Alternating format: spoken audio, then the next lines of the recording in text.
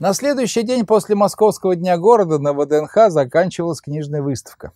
Все книгопродавцы складывали свои нераспроданные товары, а некоторые раздавали их бесплатно. Среди раздатчиков бесплатного была организация, издавшая книгу о теории Дарвина. Они ее и в обычный день не продавали, а просто раздавали. В этой книге они доказывали, что и теория Дарвина, и родившаяся на ее основе так называемой синтетической теории эволюции имеют множество изъянов и находятся в противоречии с фактами. Кстати, я об этом не устаю повторять. Где-то у меня был блог на эту тему, и в видеокурсе «Не так уж тверд гранит науки» об этом есть несколько лекций. Вообще говоря, модель, предполагающая, что эволюционные изменения происходят в результате случайных опечаток при копировании генетического материала, несостоятельна. Физики сообщили об этом еще в начале 80-х годов 20 -го века.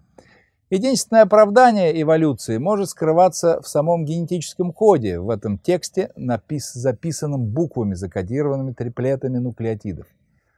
Не содержит ли эта программа каких-то подпрограмм, которые спонтанно запускаются и начинают переписывать данные?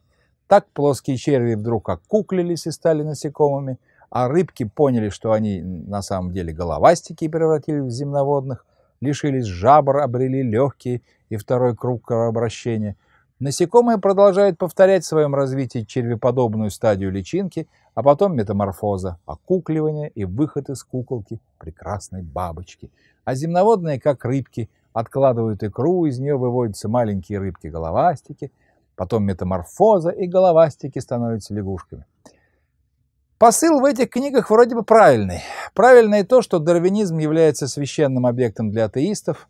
Это э, атеизм — это религия, полагающая, что все сущее произошло само по себе, как мастер Самоделкин, который сам собрался из элементов детского конструктора прямо в коробке, так и Вселенная, дескать, произошла беспричинно, без участия нематериальных, вневременных и непространственных причин. Забывают при этом, что у великого материалиста и богослова Айзека Ньютона был еще один закон, нулевой по порядку. Этот закон утверждает, что Божья воля не участвует в физическом функционировании нашей Вселенной после ее творения. Книга эта хорошо оформлена, много интересного, увлекательное чтение. Но если читать и читать, причем читать внимательно, как и должен делать сомневающийся в атеизме человек – начинаешь находить все больше и больше такого, что сначала считаешь досадными ошибками, а потом понимаешь, что это пропагандистский прием такой. Называется он спецпропагандой. Вот что пишут в книге об археоптериксе. Это пишут никакая не первоптица, переходное звено от рептилий к птицам, а обычная птица. Удивительно, но палеонтологи тоже не считают археоптерикса переходным звеном. Они и птицей-то его не считают. Ну какая он птица? У него же был хвост. Не хвост из перьев, как у голуби или павлина, а хвост как продолжение позвоночника, как у кошки или у крокодила. И лапы у него были не птичьи. Ведь птицы могут сидеть на веточке, обходив ее пальцами. Да? У них э, три пальца впереди и один сзади. А на картинках в книге на ветке археоптерикс сидит как птица. Это ошибка. А идет он по земле, как динозавр или кошка на задних лапах. На картинке, изображающей скелет археоптерикса, хорошо видны позвонки хвоста. Об этом у меня была передача в цикле фестиваля российской науки. В ней профессор-палеонтолог, занимающийся птицами, рассказывал все это. Он не постеснялся упомянуть, что первые следы настоящих птиц известны еще в очень древнем периоде естественной истории, который называется Триас или Триас, не знаю. Это еще до эпохи динозавров. Вообще, я провел много понедельников и даже ночей в палеонтологическом музее – Понедельники и ночи были выбраны, потому что в это время он закрыт для посетителей. Там ученые из палеонтологического института рассказывали мне неожиданные вещи о том, как вдруг скачком, без всякой предыстории, появились насекомые, откуда они взялись, не иначе из плоских червей. Тогда я узнал и о сказочном превращении рыбок в головастиков, и уж точно никто из палеонтологов не считает, что млекопитающие произошли от рептилий. И не могли, ведь рептилии диапсиды, а млекопитающие синапсиды. Это значит, что у нас, у млекопитающих, по одному отверстию в черепе с каждой стороны. По одной височной дуге апсиде или апсиде. А у рептилий по две. Наши далекие предки, синапсиды, были почти полностью уничтожены динозаврами. Остались только мелкие существа. Они были теплокровные, иначе в малоразмерном ряду не просуществовать, а зябнешь и умрешь. И это были грызуны, примитивные приматы и заячи. Тогда заячи были хищниками, ловили насекомых. И величиной-то они были с крупных насекомых. И им нужно было быть мелкими, чтобы динозавру лень было наклониться, чтобы их съесть. В музее только один небольшой стенд, посвященный этим маленьким героям. Там под лупами их зубы, а по залу расставлены огромные скелеты динозавров.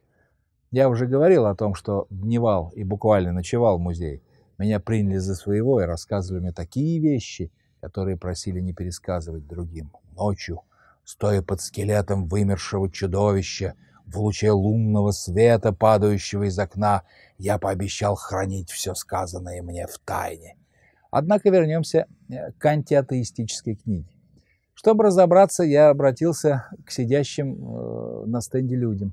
Стенд шикарно оформлен, есть какие-то окаменелости или их копии. Представляюсь, мол, я с образовательного телевидения спрашиваю, а кого бы можно было пригласить поговорить в студии? Может, телефон дадите? Знаете, говорят, там в книге есть адрес, по нему и пишите. Начинаю изучать адрес. С помощью интернета узнаю, что на адресе, на котором зарегистрирована эта организация, зарегистрировано еще более 150 организаций. Адрес это где-то на тихой малоэтажной улице в небольшом областном центре России.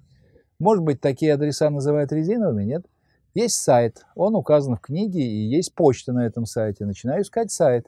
О нем есть сведения у регистраторов сайта, но самого сайта нет. Это вам не луч света в палеонтологическом музее. Это что-то вроде тайны убийства Джона Кеннеди или фильма «Козерог-1». И тут до меня дошло, что я прикоснулся, прошел совсем рядом с непонятным тайным заговором атеистов с целью дискредитации противоположной стороны. Не помню точно, как это называется, спецмероприятие. А нет, это все-таки спецпропаганда распространяется от имени противника некое лживое утверждение, дискредитирующее этого противника. Вот прочтет человек, ищущий Бога, дойдет до одной нелепости, потом до другой, на какой-нибудь нелепости он все-таки прекратит богоискательство и впадет в атеизм. А заговорщикам этого и нужно. Ну вот так я обнаружил заговор. Подписывайтесь на мой блог, читайте сказки Бояршного на сайте сам издат. Выходите на меня ВКонтакте и на Фейсбуке, особенно если вам нужна спецпропаганда.